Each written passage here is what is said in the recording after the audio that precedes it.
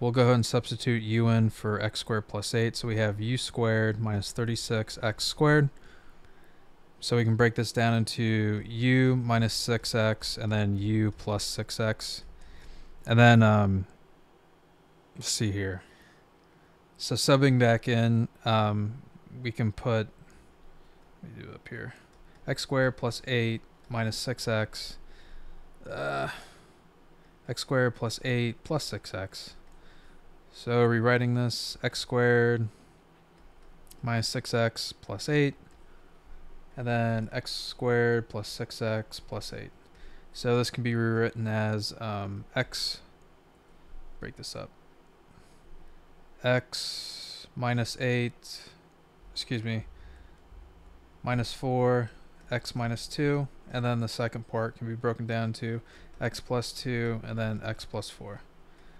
Pretty cool. And that's it. All right. I hope this helped you out. Thanks for watching this video, and you have a great day.